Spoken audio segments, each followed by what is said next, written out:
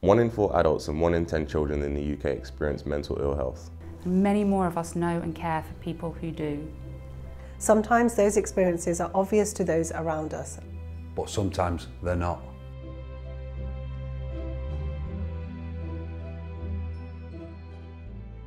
The government is developing a 10-year mental health plan. The first step is for us, all of us, To open up.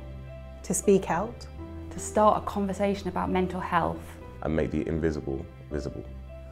Mental ill health is the second most common cause of years lived with disability in England.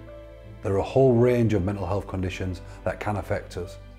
From more common examples such as depression and anxiety to rare conditions such as schizophrenia and bipolar disorder. The government wants to hear from people with all and any experience of struggling with mental ill health. to better understand how the whole of society can work together to do more to support mental health and well-being.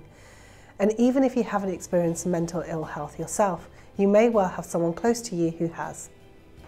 My experience with mental health is that we all have mental health and it's all our duty to look after our mental health, whether that's personally with my, my mother who suffers with a mental illness or my brother-in-law who died by suicide. Talking about our mental health is our responsibility and it's time to do that now. Telling your story is really simple. Just go to gov.uk and search 10 year mental health plan. And help us make the invisible visible.